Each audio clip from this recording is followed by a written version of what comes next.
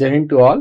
This is Santosh Kumar Mishra and I am working in Ajay Kumar Garg Engineering College in Information Technology Department and uh, I will cover uh, Java server pages in today's lecture and uh, this as you um, I want to tell you that this is a uh, very technical core technical and bigger concept so it will take time but uh, lecture wise lecture by lecture we will i will try to cover this java server pages. So let's start what the java server pages that is also called the uh, uh, JSP also.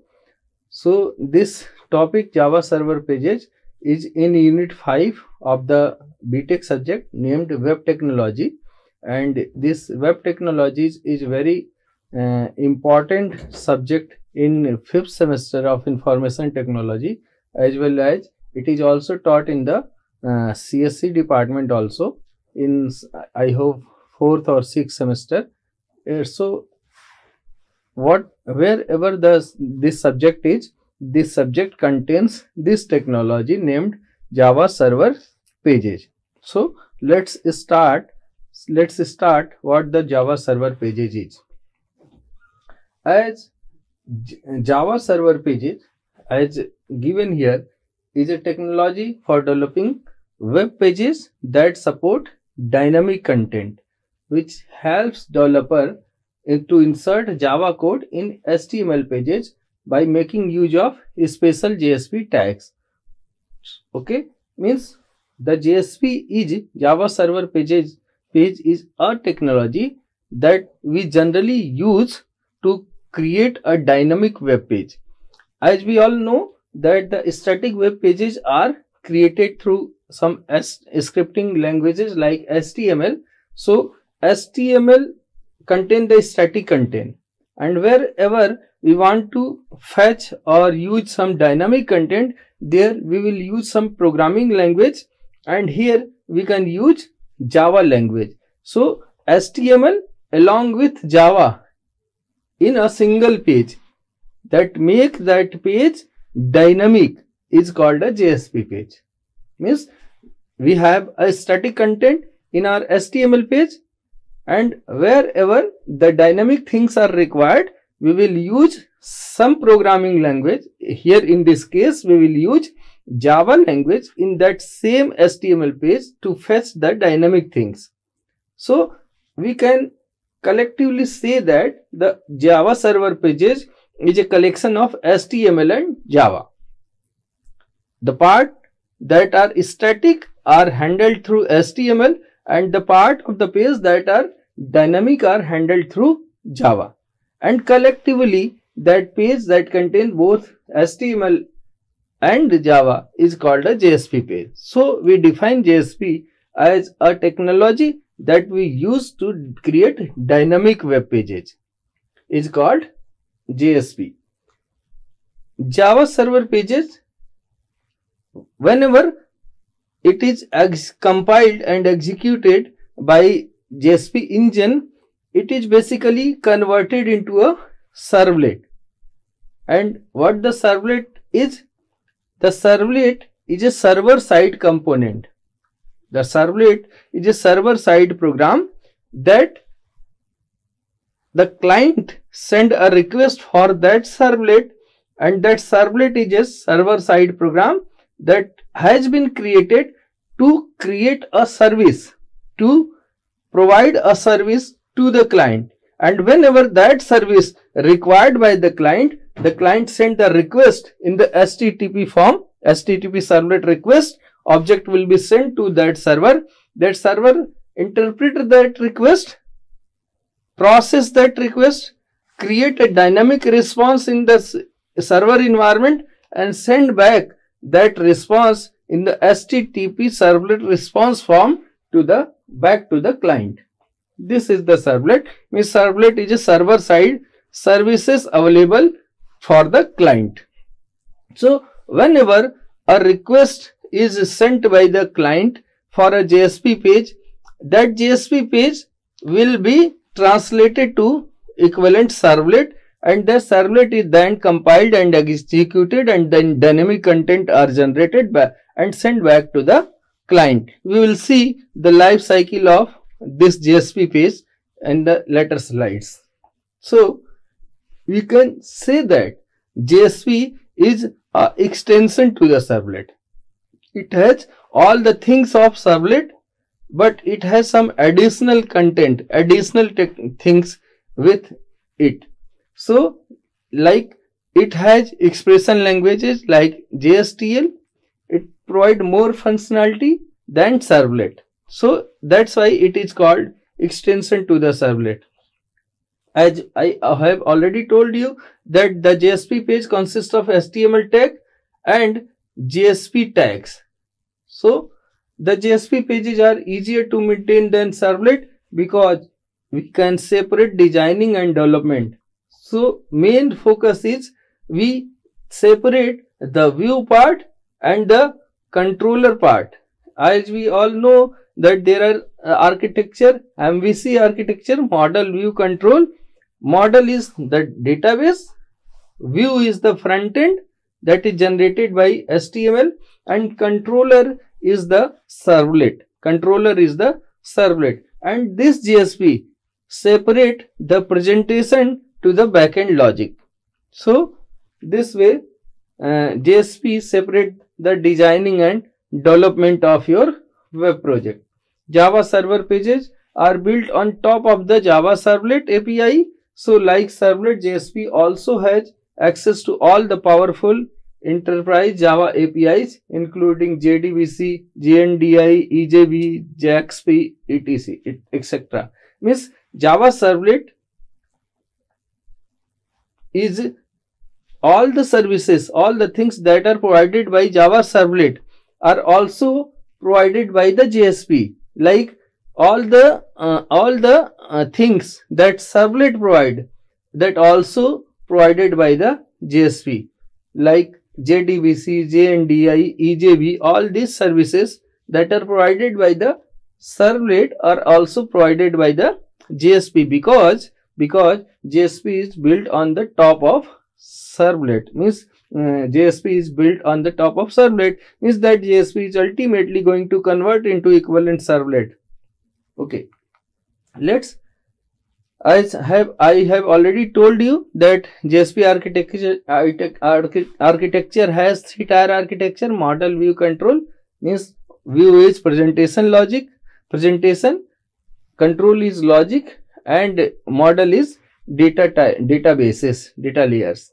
The presentation layer is responsible for displaying presenting the front end to the client for client interaction. That is developed by some markups like HTML, uh, XML or uh, CSS, uh, JavaScript, these all are responsible for displaying the things in a proper format to the client.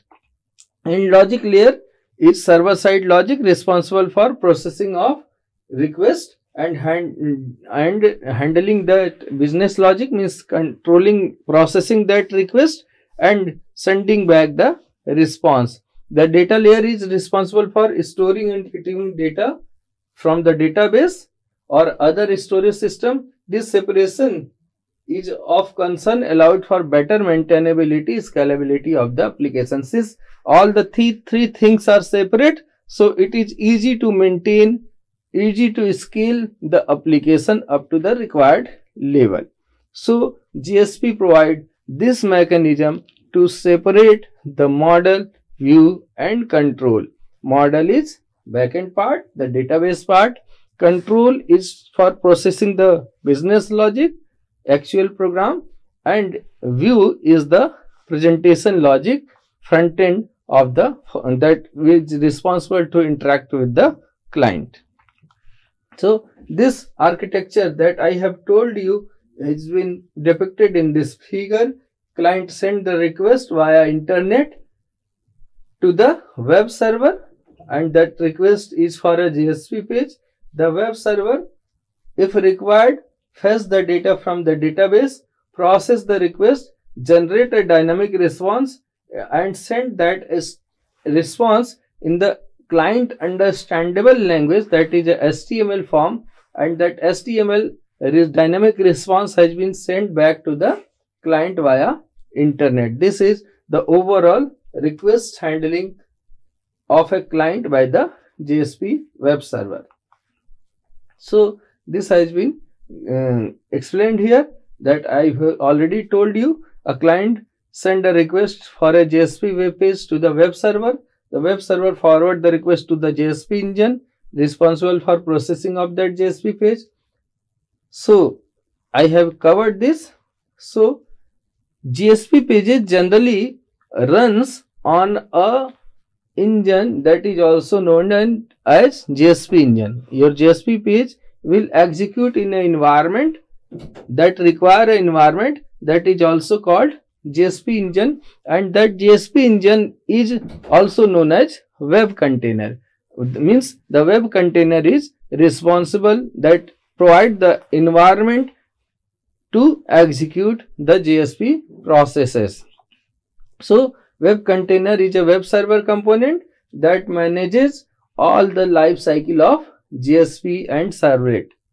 When a client sends a request to a JSP page, the web container intercept that request and direct that request to the JSP engine. JSP engine that convert then convert that request to the uh, servlet page and compile it. If that servlet is already available it directly forward that request to that servlet. And if it is not available then that equivalent servlet is created compiled and then the request sent back to that uh, uh, servlet. That servlet generate a dynamic content depending upon the request of the client and send that request to the back to the client. And that web container is itself require uh, responsible to execute the life cycle of the JSP. We will see what the JSP life cycle is. Additionally, web server also provide all the required security features for that uh, for that JSP pages. So there are many advantages of using JSP over servlet. First one is extensions to the servlet as I have told you that all the things that are provided by the servlet is also available to the JSP.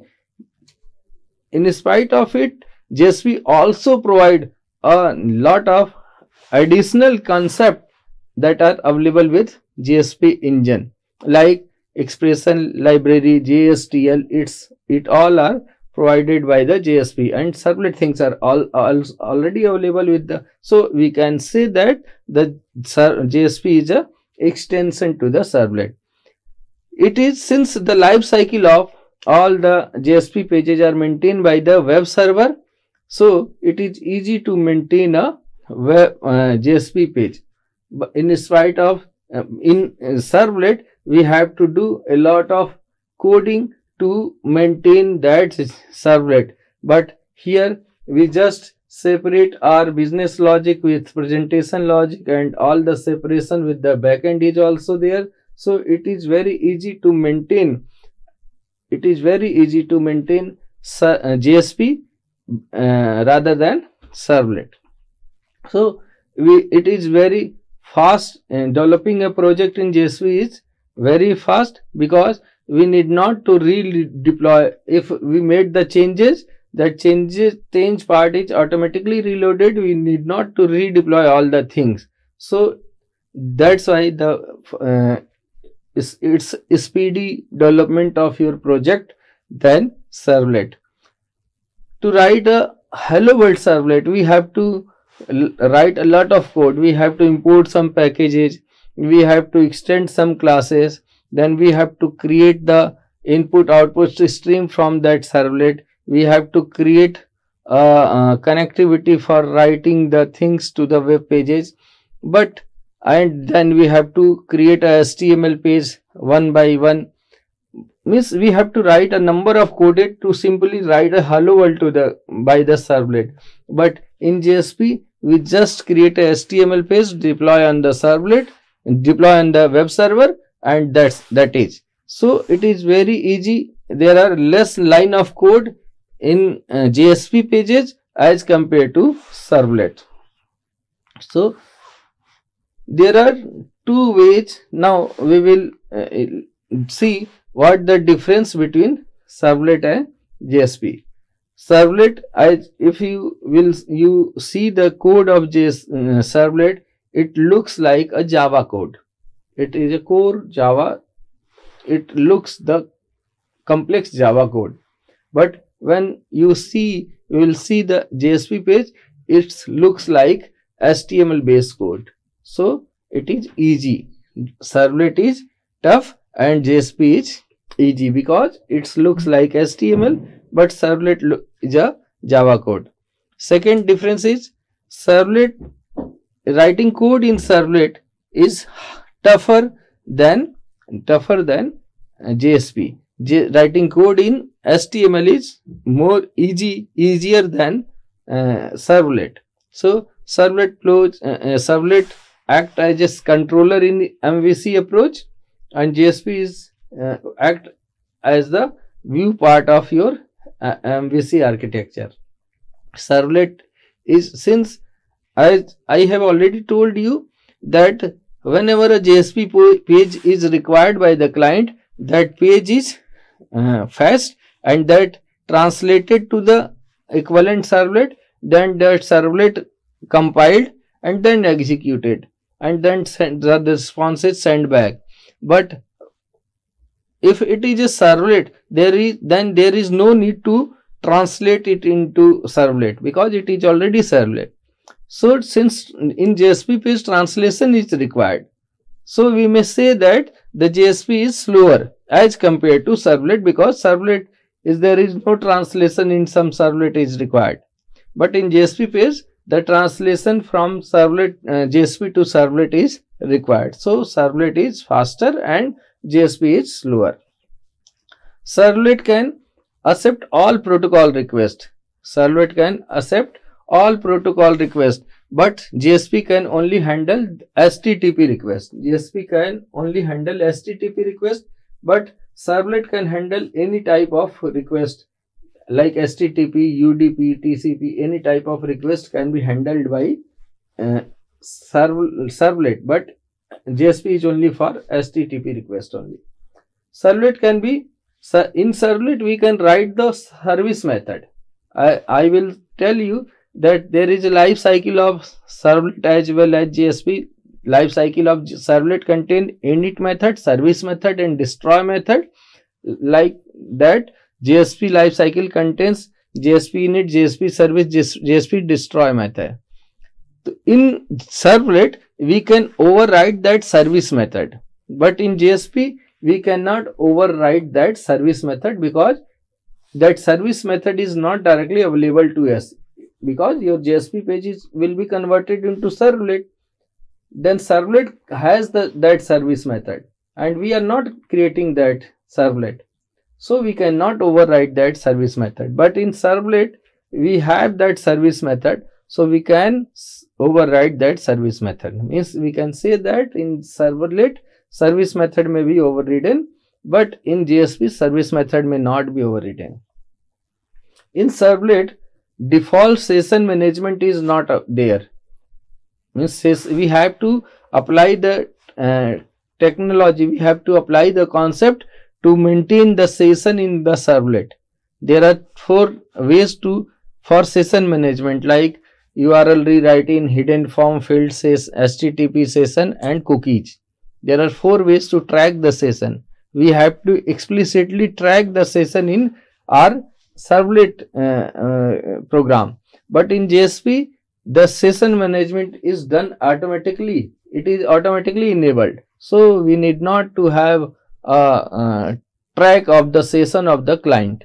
There, the session management in JSP is very easy as compared to session management in servlet because servlet automatically does not provide the session management but JSP session is automatically enabled. Servlet have to in servlet we have to implement everything like business logic presentation logic in just one servlet life cycle but in JSP business logic is separated from presentation logic by using Java Bean. So modification in servlet is a time consuming task because it, includes reloading, recompiling and restarting the server, server. But modification in JSP is fast because we need just to refresh, click on the refresh button and use service sir, we need not to deploy all the thing every time whenever the change we may have made some changes in our JSP pages.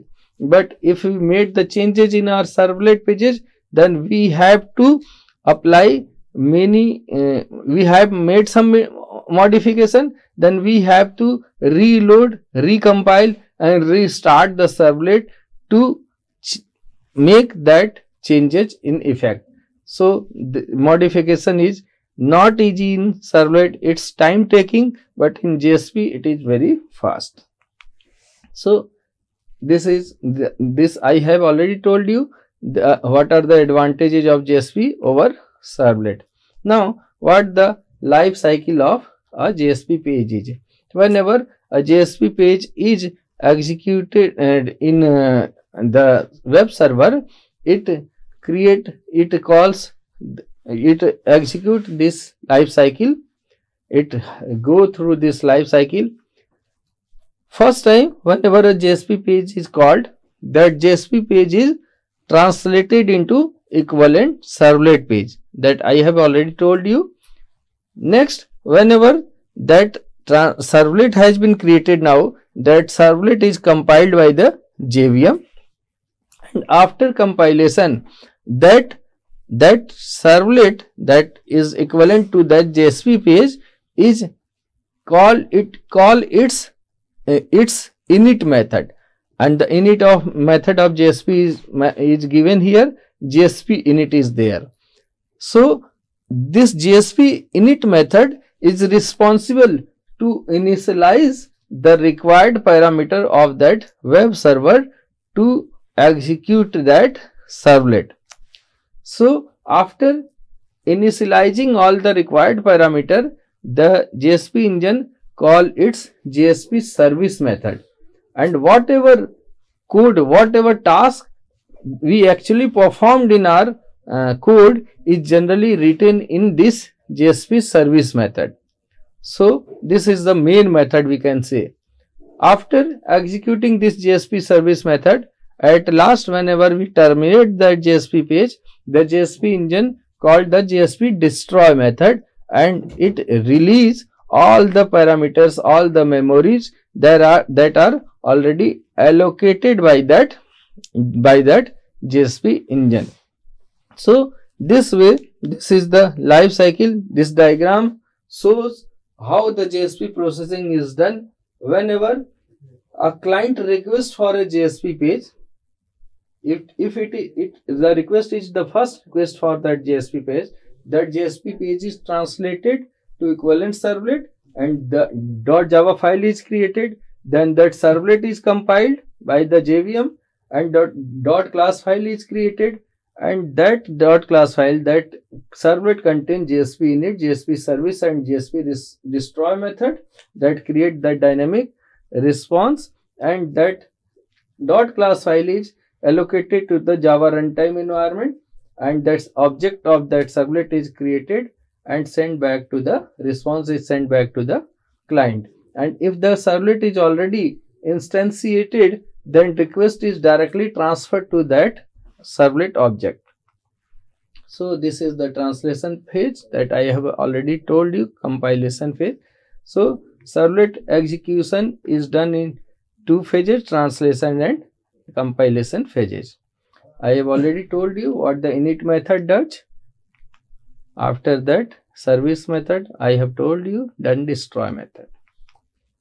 Now how the JSP page is created.